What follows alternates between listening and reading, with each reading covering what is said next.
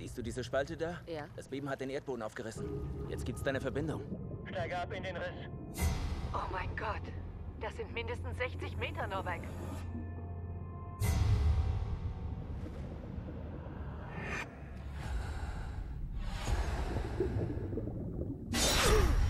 Sam? Irgendwas hat mich gebissen. Sam, was ist da unten los? Oh mein Gott.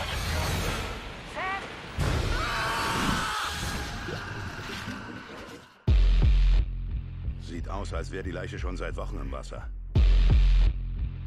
Ich will wissen, was zum Teufel dieses Ding in meinem See macht. Ist das ein Piranha? Dieser spezielle Piranha ist vor zwei Millionen Jahren ausgestorben.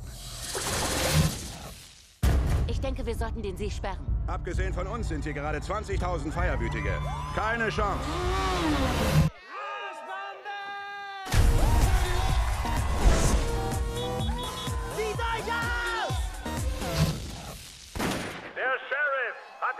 Notstand ausgerufen, Freunde. Keine Sorge, wir haben genug Bier für alle!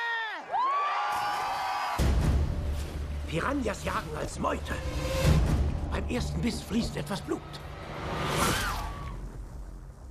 Das Blut zieht die Meute an.